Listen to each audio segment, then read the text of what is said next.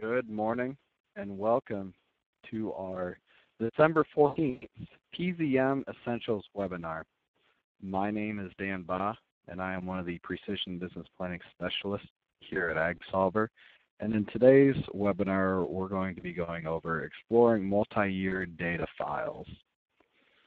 Just to run through our webinar agenda for today, we'll go through our introduction, then navigate to the multi-year scenario page, review multi-year maps, and then export multi-year maps out as shape files, and then we'll follow up with any questions anyone might have. Before we hop into Profit Zone Manager, though, I do want to mention that we are in Q&A mode, so if you have any questions, please type your questions in the chat box below uh, my contact information. My email is djbahe at agsolver.com, or you can contact our support team, and their email is support at agsolver.com, or you can call my cell phone or call me directly. Cell phone number is 319 238 1978. So for today's webinar, we're going to be primarily working out of the Dan Bahe Farms enterprise. And for the specific field that we will be looking at will be the buildings field. And for this field, we have yield data ranging from 2012 up into up until 2016. And at the very bottom of all of our scenarios, whether we have actual scenarios or planning scenarios. At the very bottom, we have the multi-year average performance. And what's being calculated within this multi-year average performance is all of the scenarios that we have tagged as actual.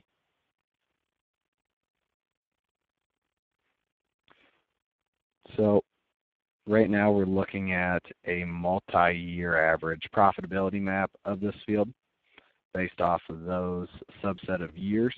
Below we have our financial performance table based on the multi-year average with percentage of the field profitable, average profit per acre, minimum profit per acre, maximum profit per acre, standard deviation, average total profit, average total revenue, and average total expenses, and then finally average ROI on this specific field. We can filter the map layer, this map layer as well, with the interactive legend just by clicking on the little bars. So that's a multi-year average profit map. We want to look at the multi-year average ROI map. You can filter that map as well.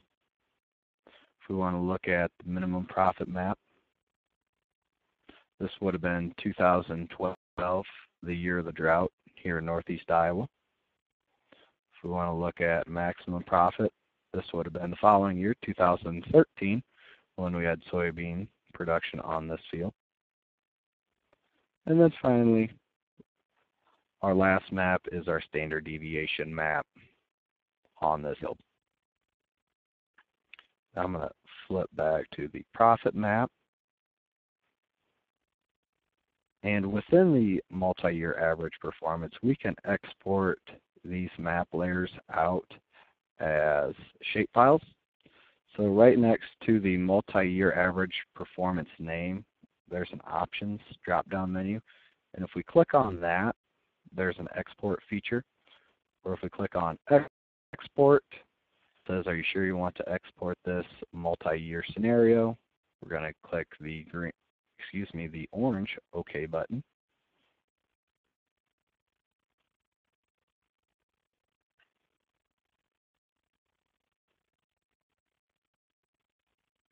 And now it's compiling our export folder.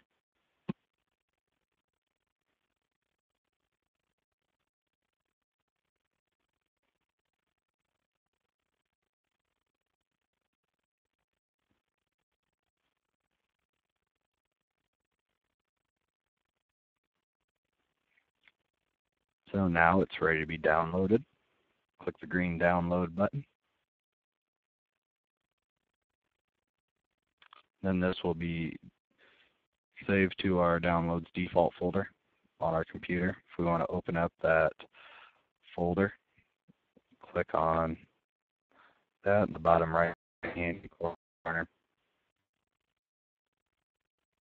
And if we have TIFF files, and then at the very bottom we have our shapefile of our multi-year based off of ROI.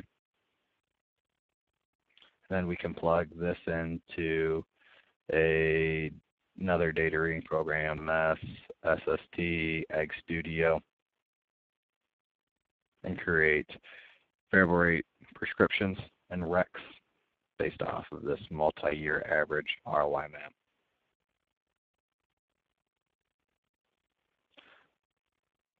And that map would be this return on investment map layer.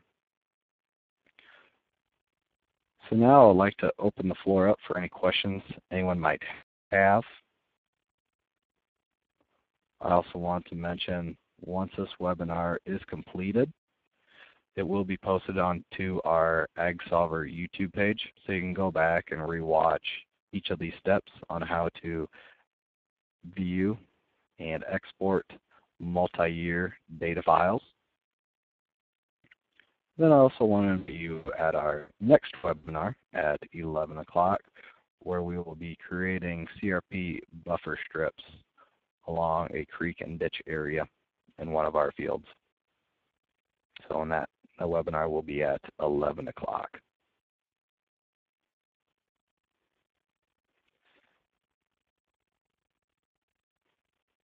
So if there's no questions, I want to thank you for viewing our December 14th PZM Essentials webinar based on exploring multi-year data files. Thank you.